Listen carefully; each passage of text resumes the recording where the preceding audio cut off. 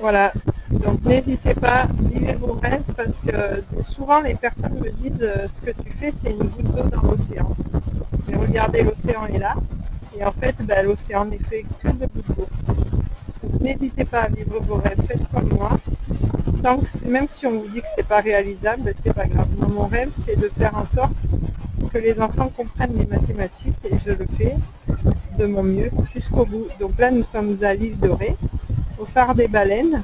Derrière l'océan, il y a la. Bonne journée, au revoir.